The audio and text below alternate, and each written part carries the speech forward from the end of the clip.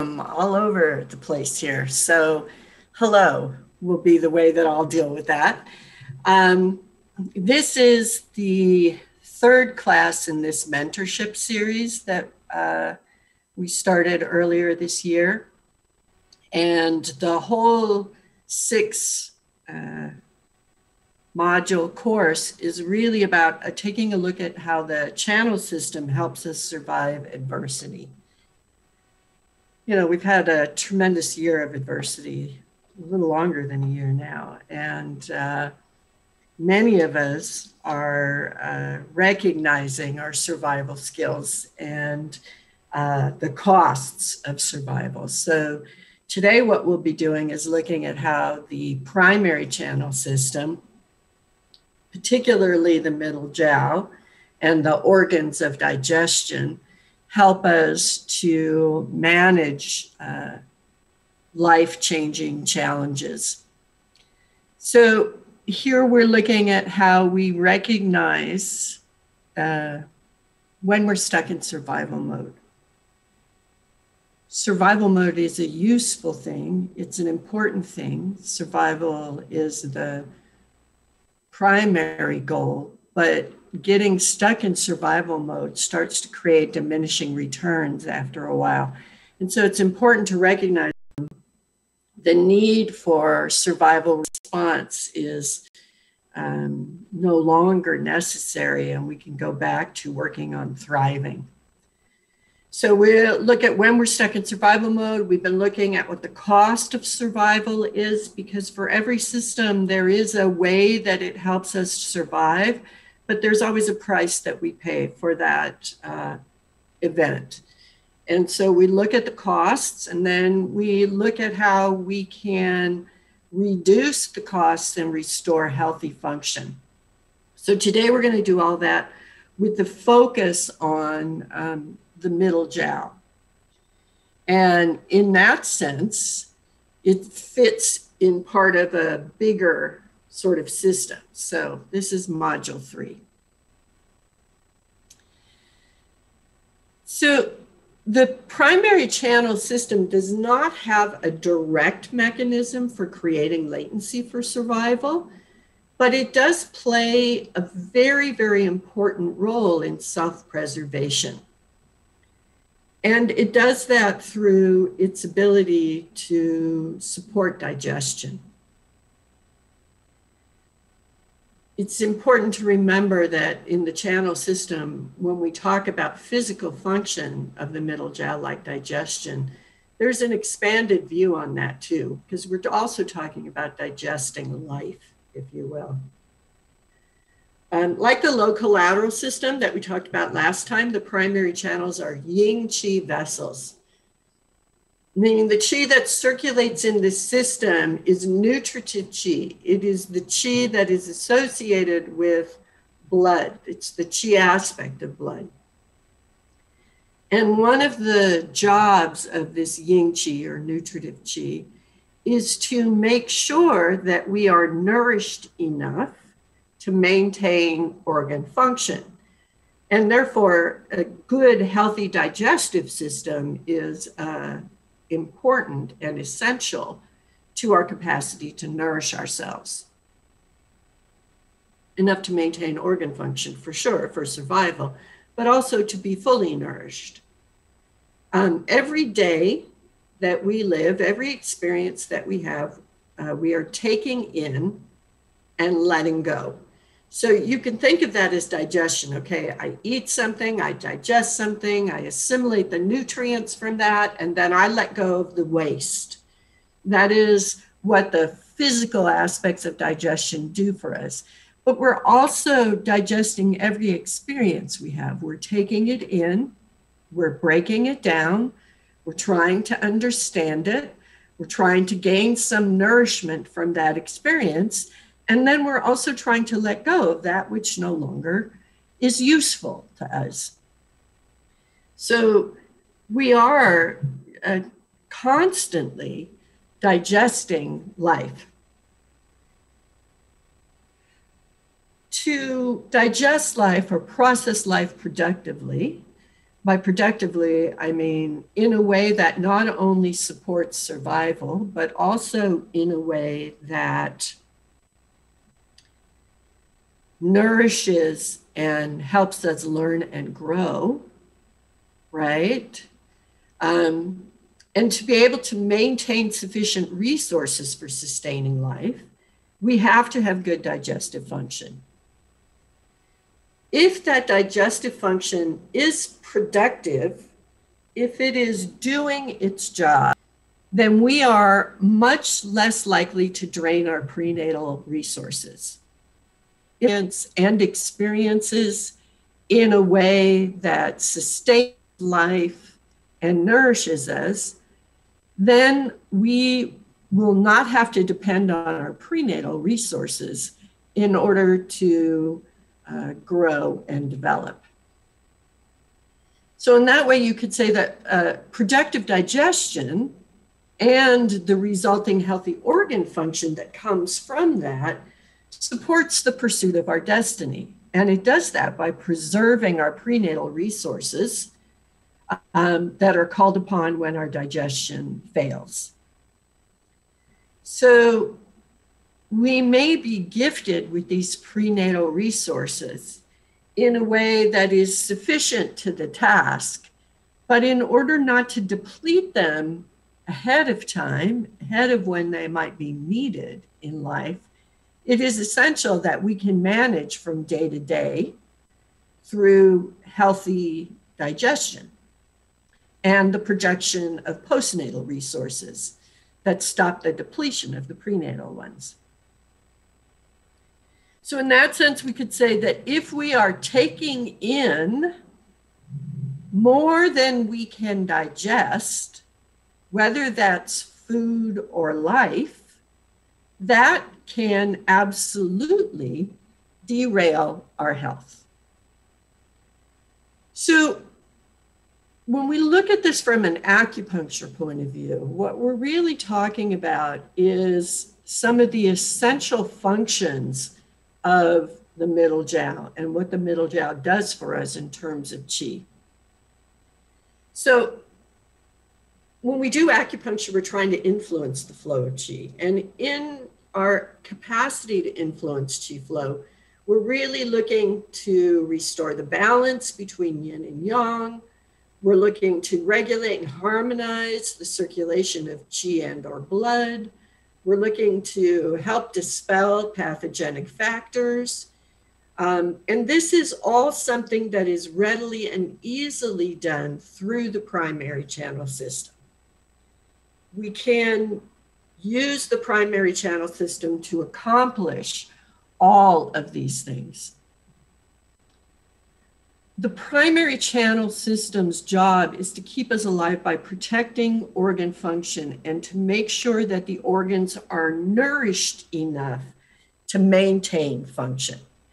They supply postnatal resources for organ health through the process of digestion once something has entered the interior, so once something has gotten past Wei Qi and has moved inside, the primary channels determine if that thing, whatever it is, is a threat.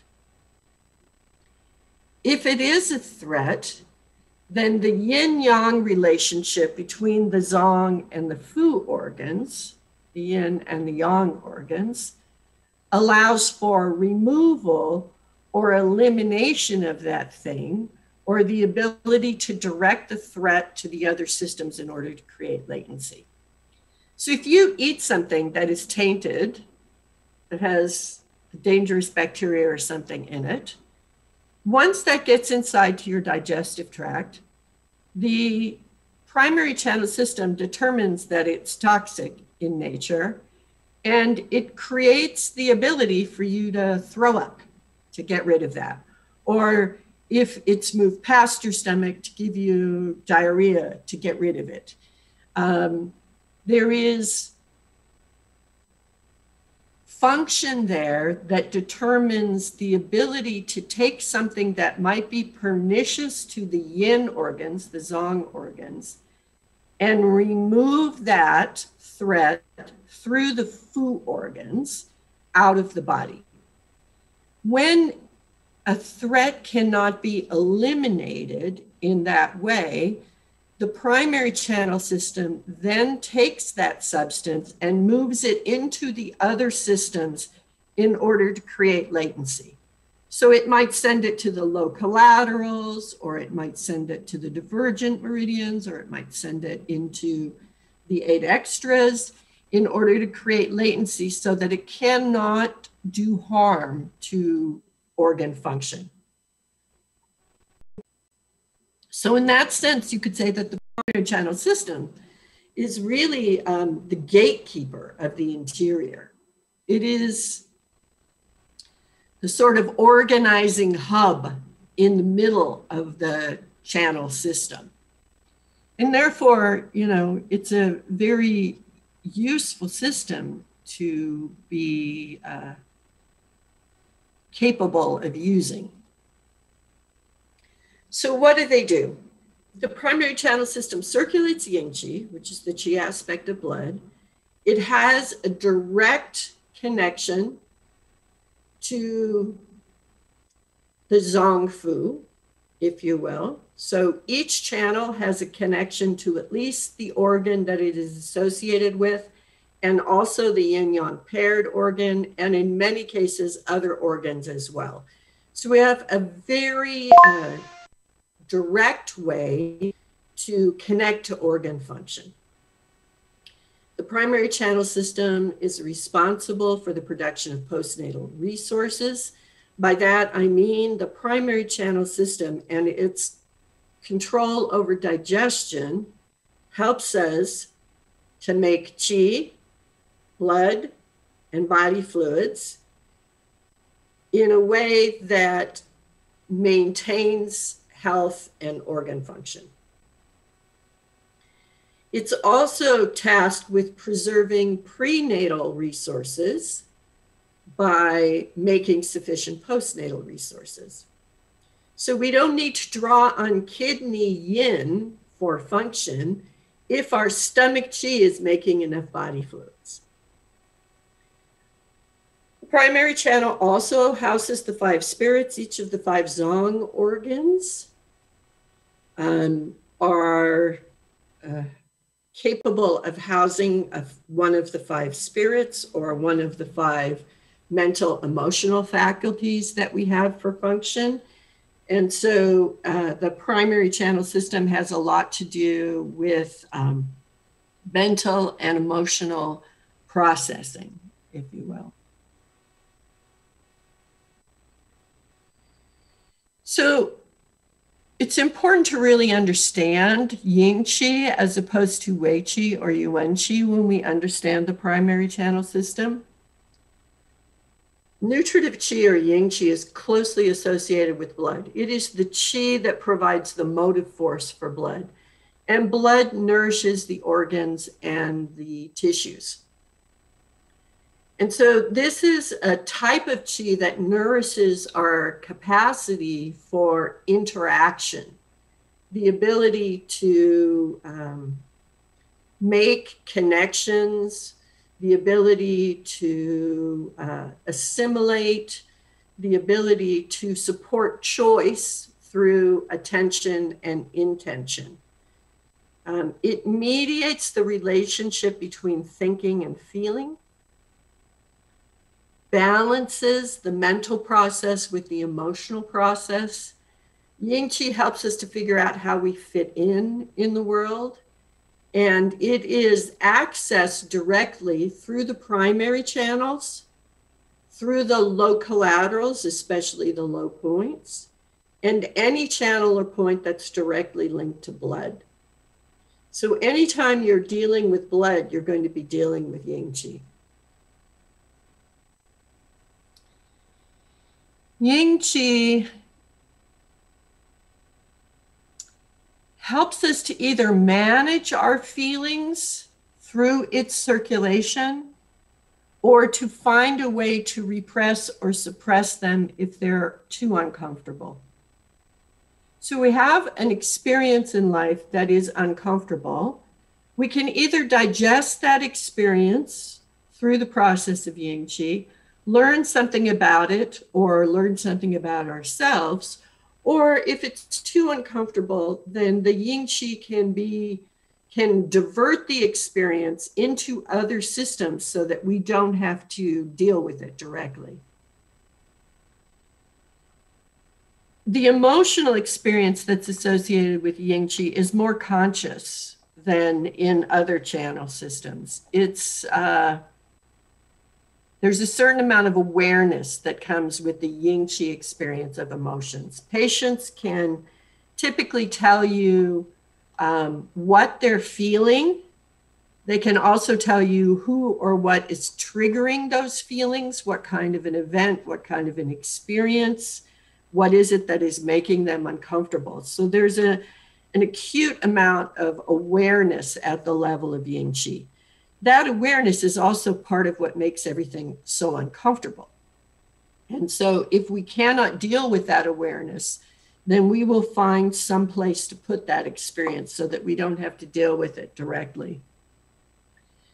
Ying Qi, uh, in its emotional functioning, is a lot about validation. We want to be sure that what we're feeling is okay, that what we're thinking is okay, that we have some self worth, some self esteem, and that we're not wrong for feeling the way that we're feeling. Um, Ying Qi, because of its connection to the middle jiao, is also um, about the development of habituated habits. So when we experience something, we develop habits around our response to that experience. For instance, if we when we're younger touch something hot and we get a burn, then Ying Qi helps us to process the pain of that experience, the fear around that experience. And then we build habits that help us to avoid having that experience again. So here we're talking about uh, not just touching hot things as a physical experience, but also social habits around judgment of others if we say or do something and we're judged harshly for that, then we begin to develop habits around not doing that kind of thing again. And as we do that, we become a little bit less of who we are because we don't want to be judged harshly by others. We don't want to be found wanting. We don't want to be found uh, less than, if you will. So, the emotional response that's